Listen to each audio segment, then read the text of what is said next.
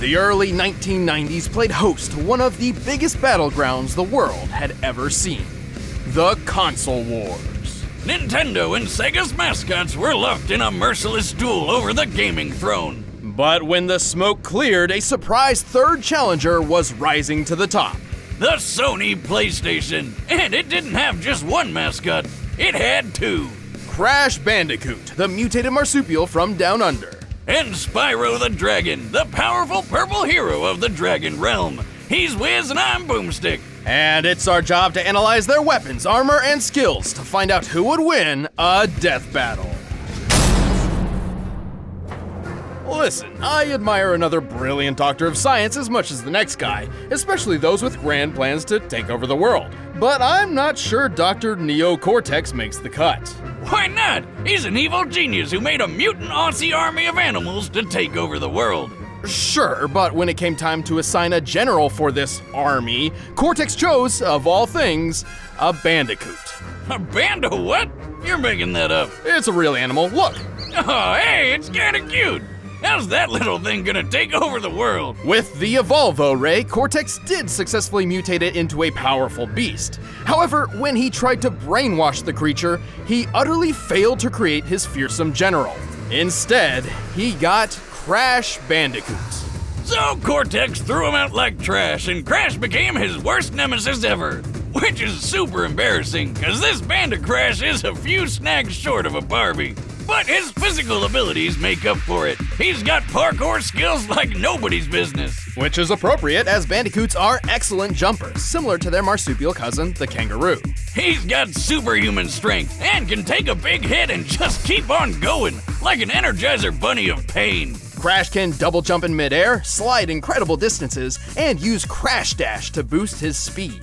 He's also tapped into Mojo, a magic substance that's basically life energy, to enhance his battle techniques. He's got his Norris Roundhouse and Triple Dragon, but his favorite move is the Cyclone Spin. He can even give this move a boost for the Death Tornado technique, though this can leave him dizzy and prone to counterattacks. Still, these brutal moves proved incredibly useful for rescuing his fellow mutant bandicoot girlfriend, Tawna.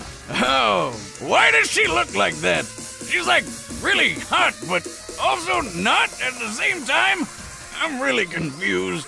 Uh-huh. While Crash's natural abilities were enough to save her, his future battles with Cortex would require more sophisticated tools. Yeah, like the Rad Copter Pack. He's even got himself the unicorn of motorsports, the Space Motorcycle. What I wouldn't give for one of those. To increase his firepower, he carries a special bazooka that uses a naturally occurring and easily attainable form of ammunition Wumpa fruits. The same kind of fruit shooter that's on his power loader suit from Alien. Er, I mean, this completely generic looking mech. But why fruit? I can't imagine it's a particularly effective projectile. I don't know, Wiz. Remember that time I shot you with my potato gun? Ah, you were stuck in a coma for like a month. Wait, what? You told me I lost that month because my time travel wristwatch finally worked. Oh, uh-huh. Well, where's Crash getting all this cool tech?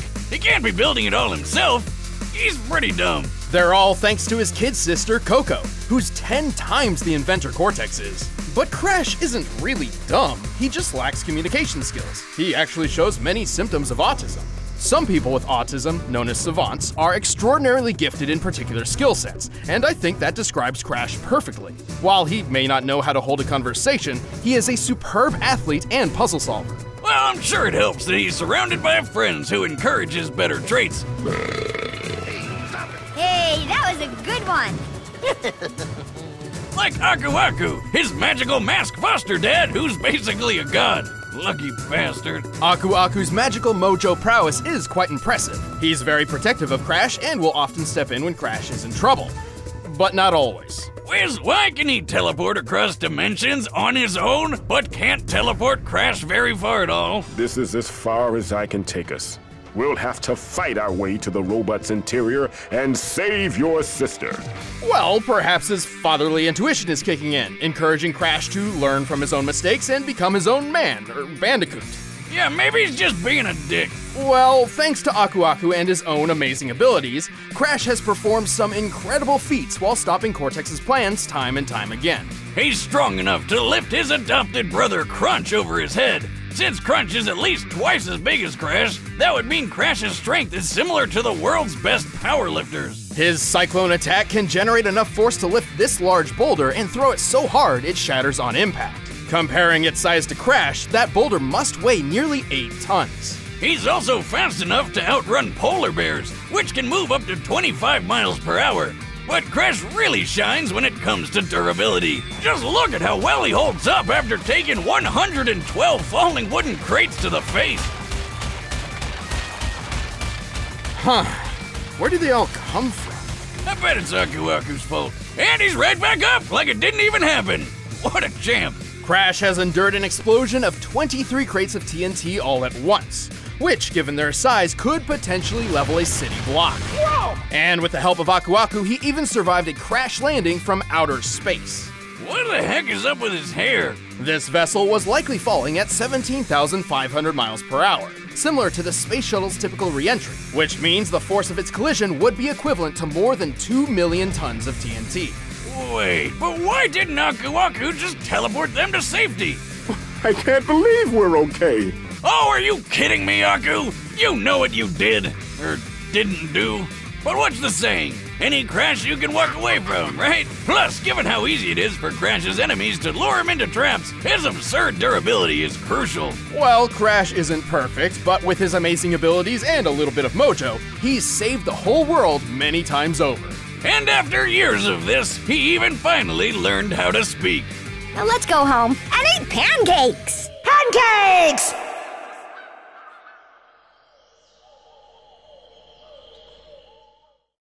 Wait, that's it? Prophecy tells of a special purple dragon born every 10 generations, destined to be a hero of his age. This was the legend of Spyro. But when the ancient Dark Master Malefor learned of this, he swore to destroy Spyro before he even hatched. By the way, there are at least three different timelines for Spyro, but we're mainly sticking with the Legend of Spyro version because he can do pretty much anything the other ones can, and more. Plus, I think they're all the same as Spyro reincarnated anyway, since that's what the prophecy says, and look, that's totally Skylands being made at the end of Dawn of the Dragon. Ahem. Wild fan theories aside, Spyro was saved from Malefor's wrath by Ignitus, a guardian dragon. He decided to pull a Moses and send Spyro's egg floating down a river to who knows where. Okay, why do so many stories start with people just throwing babies into rivers? That's never a good idea. Wrong, Wiz! It worked out fine for Spyro. He was found and adopted by a family of dragonflies. And even without fellow dragons around, Spyro grew up to be a pretty good fighter. He's strong, tough, and makes good use of his horns, tail, and claws. But not his wings, not yet. Without a dragon's parentage, Spyro remained mostly grounded during his childhood. But he got pretty good at using his head. Like the fun way, not, not the brainy stuff. You do not want to be on the other end of his charge attack. But one fateful day, everything changed. During a game of hide and seek with his quote unquote brother, Sparks, they got into a bit of monkey business and, in desperation, Spyro unexpectedly breathed fire. This was Spyro's first hint that he was adopted. Hold up, you mean he thought he was an actual dragonfly the whole time? I can think of a few other hints, like, I don't know, anytime he saw his reflection. This revelation prompted Spyro to go on a journey in search of his true home among other dragons. Oh, and Sparks tagged along to help find treasure and protect his dragon brother from harm. Not like he needed it. He's the chosen one, bitch. He's got a bunch of awesome dragon powers. As a purple dragon, Spyro was not limited to just his fire breath. After finding and rescuing four great dragon guardians, they each became his teachers in the arts of elemental combat. Ignitus taught Spyro how to control fire and focus it into huge blasts. Volteer showed him how to use electric breath to stun enemies and toss them through the air. Cyril taught him to freeze foes solid and fire ice shards. And Terrador showed him how to use earth breath to split rocks and roll up into a ball. Spyro also honed his physical and chi combat with the martial art of Dragon Kata. Oh, and he finally learned how to fly. About time. Speaking of which, Spyro learned how to briefly slow down time to improve his reactions. Oh, damn. But all of this led to Spyro learning the ultimate element The convexity breath. Ether. Convexity. It's ether. No, stupid, everyone calls it convexity. Oh, okay. Purple dragons like Spyro can use a mysterious energy that is essentially the spiritual life force of the universe. While it's never officially named in canon, lead concept artist Jared Polin has gone on record to clarify its name and properties, and he calls it Ether. Eat that, boomstick. Don't convex me, Wiz. True fans know I'm right. Ether is an extremely powerful element which binds the fates of the living and the dead. With Ether, Spyro pulls from the four elements to create energy which, according to Polin, has power comparable to that of an atom smasher. Isn't that the thing that shoots an atom around at light speed for all sorts of sciencey stuff? Yes, they're particle accelerators with a moving photon beam containing 362 megajoules of energy. Yeah, I said that. Uh, this beam can slice through a human skull in a nanosecond. Just like what happened to Russian scientist Anatoly Bugorsky when he stuck his head in one of them. Why the hell would he do that? God, being Russian must be hard. Bugorsky took a beam less than a molecule thick through the skull, which obliterated all matter in its path in an instant. While he survived, half of his face around the microscopic hole in his head swelled, peeled apart, and was permanently paralyzed, while he experienced a blinding light he described as brighter than a thousand suns. Hey, Spyro, what was that about? I don't really know. I just felt like I had to hit it. And when I did, the power of a thousand suns surged through my body. Just imagine if that beam was the size of Spyro's super breath. No, wait, you don't need to. We've seen what it's like when he killed the Ape King. Of course, Spyro's ether powers have other uses as well, such as curing his fellow dragon Cinder of Malefor's corruption. Is he shooting ghosts at her? What kind of magic were they smoking when they came up with that? But ether is dependent on a balance between light and dark. Should a purple dragon fall prey to their own anger and hatred, they risk being consumed by dark ether, or nether, transforming into a blackened, rage filled form. Spyro's a really nice guy, but as Dark Spyro, he lets loose. He's stronger, faster, and way more violent. Unfortunately, when Spyro is consumed by dark ether, he cannot return to his old self on his own. But with friends like Sparks and Cinder at his side, he's always found his way back. Through the power of love. Right, Spyro? You gotta believe. With all these powers at his claw tips, Spyro is a force to be reckoned with. He's pretty quick, outracing biplanes that can fly over 159 miles per hour. He's pushed a gold statue about twice his size, and he's pretty tough, claiming his scales are impenetrable. So I'm electricity proof too? I knew my scales were impenetrable, but now this? A bold claim, but let's look at the facts. Spyro once took a punch from this massive magma golem, which then lost its arm and replaced it with a cathedral tower. This cathedral is very similar in size to St. Stephen's Basilica, a Roman Catholic church in Budapest, Hungary. By taking the height, length, and depth of the basilica and adjusting for empty space, we can estimate the arm's mass to weigh over 400,000 tons. Assuming a low end punching speed of 15 miles per hour, that of the average humans, the golem must have hit with at least 1.9 million tons of force. And after getting all these powers, saving the dragons, and defeating the Dark Master himself, Spyro tapped into Ether one last time to literally pull the exploding planet back together. What? How the hell? How? Hmm, I'd say a mix of the power of love, magic of friendship, and a smidgen of prophetic destiny. Wiz, I want a pet dragon more than anything. It's a sad sight, Sparks. Another noble warrior falls victim to the plague of love. Just look away. All right, the combatants are set. Let's end this debate once and for all. But first, let me tell you about the mascot of good food, Blue Apron.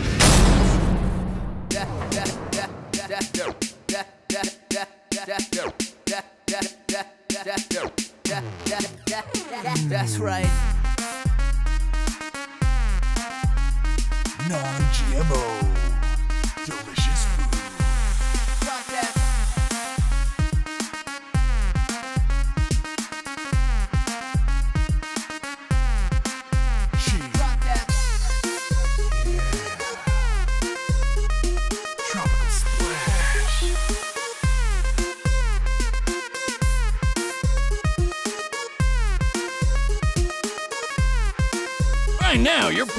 shouting at your screen, Where do I sign up? Well, Blue Apron is treating Death Battle viewers to $30 off your first order if you visit blueapron.com slash battle. So check out this week's menu and get your $30 off at blueapron.com slash battle. But right now, it's time for a death battle!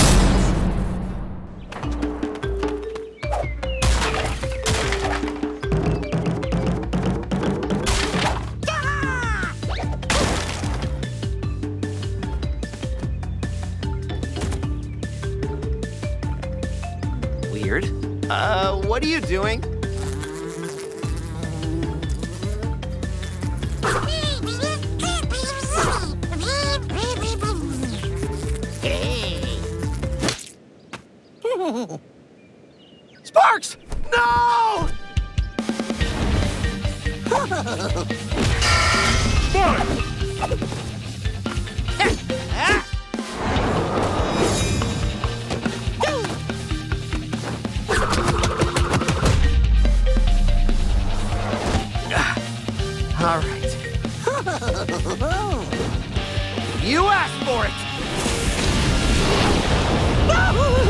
God!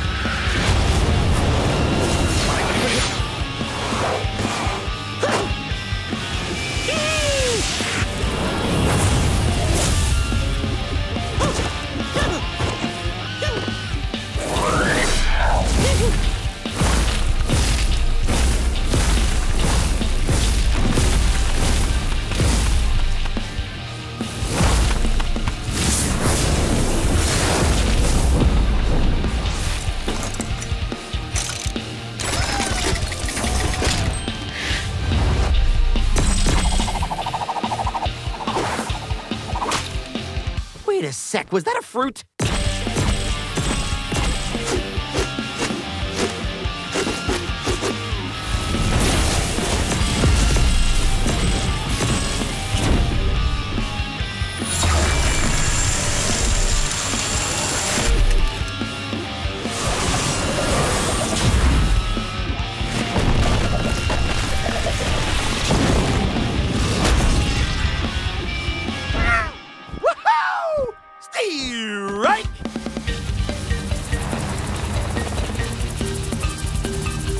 Where do you keep finding these things?